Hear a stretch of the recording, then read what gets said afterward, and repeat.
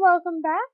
Today I am finally going to post the Desert Oasis uh, uh, map.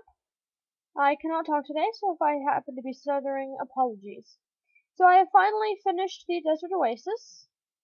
I was making some, some little additions to it with the 1.4.2 update.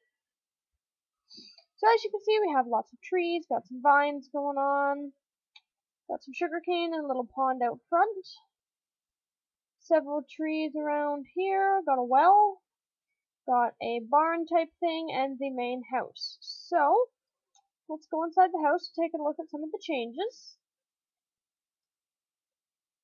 Mainly just some aesthetic changes. There's some flower pots around with various items in them. I have placed a clock on the wall. And I have placed an anvil in the far corner here. And then going upstairs, the remainder of the changes are again just a flower pot and a picture frame here with a dragon egg. And the flower pot that I added was up here on the balcony. Right there. And it's on fire!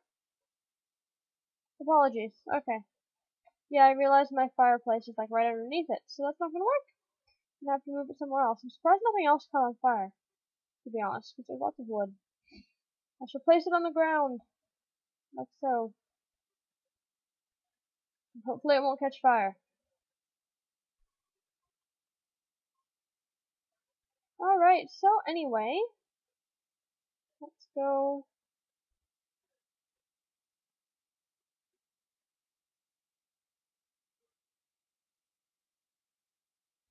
the barn. And I added this tree and one on that side. I added on symmetrical little grass